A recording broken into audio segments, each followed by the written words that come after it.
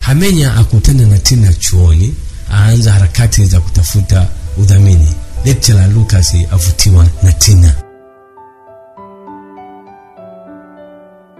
Baada ya hapo Tina alikutana na rafiki zake Doris na Anna, ambapo walikuwa wakimsubiri ili kuwaambia nini kaambiwa, na aliyemtaja yeye kuwa ni mrembo. Tina alifika akawaambia wenzake, haya twendeni. Anna akauliza unafahamiana naye huyo? Tina akawaambia no, he just called me, ameniita tu, kisha kaniuliza kama mimi ni mwanafunzi wa hapa nikamwambia ndio, najiunga na blabla bla zingine, then tukaachana, but he is a lecturer wa masomo yetu. Doris akasema okay, I know there are story that are not good people, especially najua habari zao kwamba sio watu wazuri, hasa wanapokutaka kimapenzi. Tina akasema ni kweli, hata baba yangu amekuwa akiniambia tangu nimepata matokeo yangu ya kidato cha sita, lakini tunapaswa kuishi nao kwa akili, kwani inasemekana kwamba yeye ndiyo mwamuzi wa sisi kupata digrii au la. I know one thing, najua jambo moja, Mungu atatusaidia, tutavuka. Ana akasema yaani, hiyo ni kweli Tina, acha sisi tupambane mpaka mwisho, na kama watatunima digrii hii, ipo njia nyingine ya kutokea kimaisha ambayo Mungu ataifungua. Doris akasema jamani, mimi nikishafika hapa tu na nahisi kama ndoto zangu za kupata digrii zinatoweka kabisa. Tulizeni akili zenu, someni kwa bidii, matokeo yetu ni chanya kwa bidii yetu, alisema Tina. Kisha Doris akadakia ya you are a light Tina. Kisha wakaingia ofisini kiki taarifa zao. Hamenya alikwenda TCRS akawasilisha barua yake ambapo aliambiwa aende baada ya juma moja. E, baada ya hapo alirudi chuo akaenda moja kwa moja chumbani kwake. Bahati nzuri chumbani kwake alikuta mwanafunzi mwingine aliyekuwa amepangiwa chumbani. Walisalimiana, wakatambulishana, kisha maisha yakaendelea. Jina la mwenzake alikuwa ni Mihayo akitokea Tabora.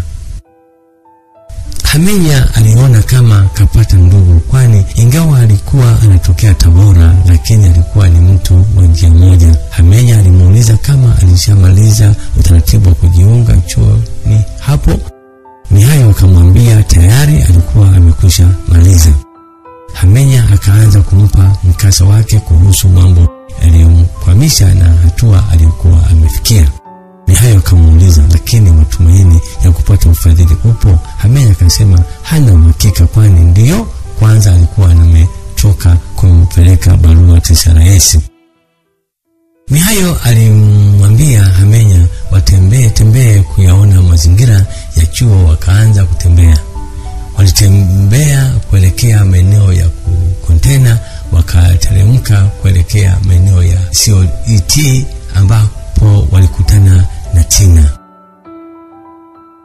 Hamenya alikuwa bado hakumtambua Tina. Tina aliwasalimia kwa kuwachangamkia. Hamenya akamuuliza unamfahamu? Mihayo akamjibu simfahamu. Wakati wakiulizana, Tina alimwita Hamenya kaka, samahani. Wote wawili wakauliza nani? Mimi. Tina akashikwa kicheko akatabasamu. Kabla hajawajibu akacheka, kisha akamwonyeshea kidole Hamenya.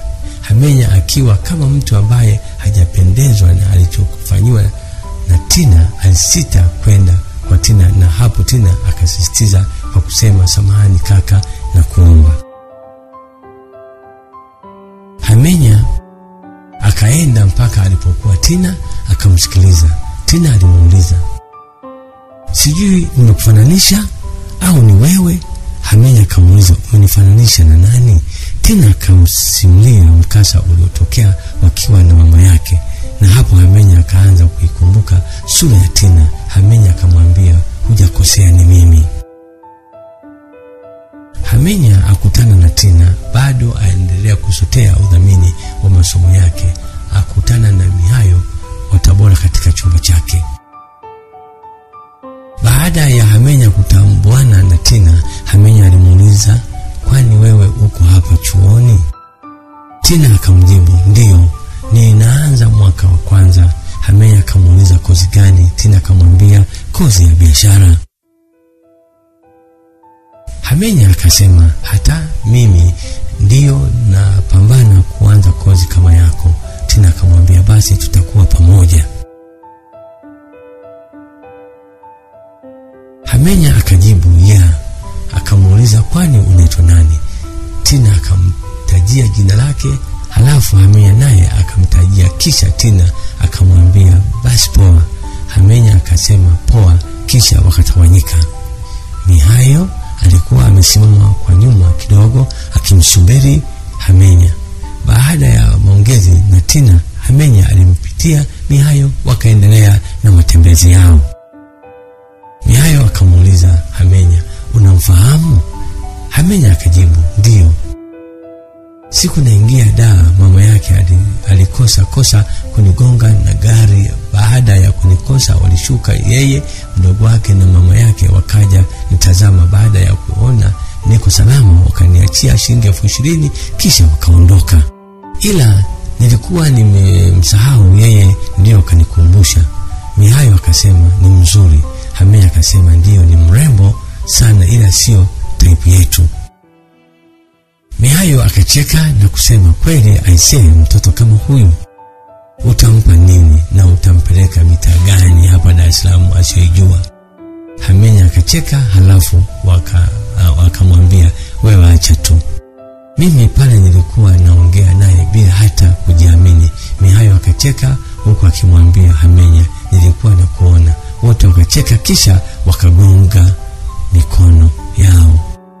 Mbele kidogo tena alikutana na rafiki zake Ana na Doris, wakasalimiana na Tina kuwa alikuwa na Hamenya muda mfupi uliokuwa umepita, kumbe ni yeye yule niliyekuwa nimemfananisha, alisema Tina. Halafu Doris akamuuliza it seems you are a in love. Tina akasema no, lakini hata kama na foro na yeye si mvulana kama wavulana wengine.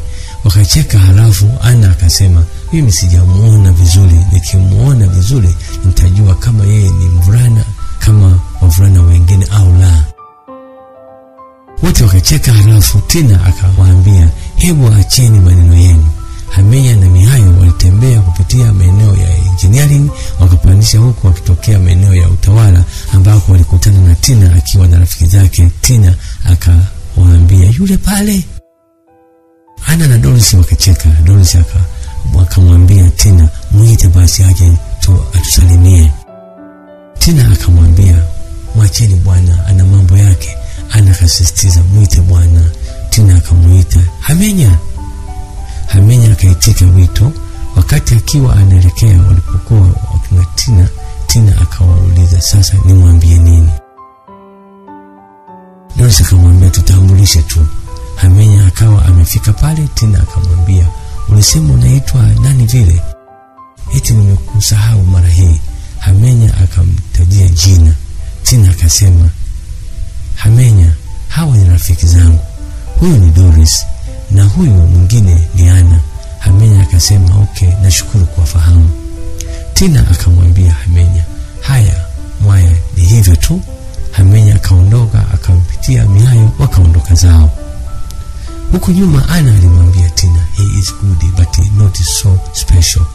Doris akasema what he need is just clothes to make him special. Wote wakacheka, halafu tena akawaambia, lakini nyie mna matatizo. Wakacheka tena kwa nguvu. Hapo ikasikika sauti Tina.